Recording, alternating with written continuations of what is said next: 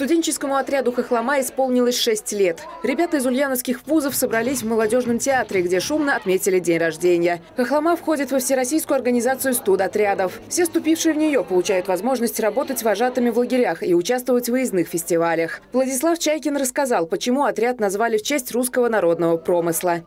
В узоре хламском есть много маленьких орнаментов.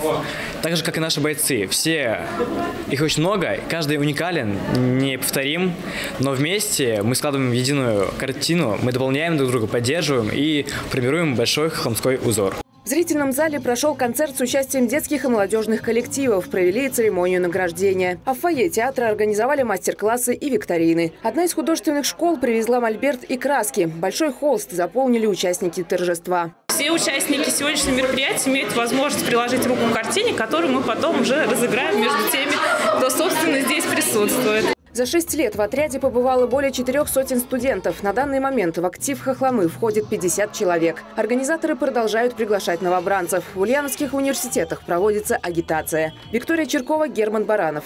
Улправда ТВ.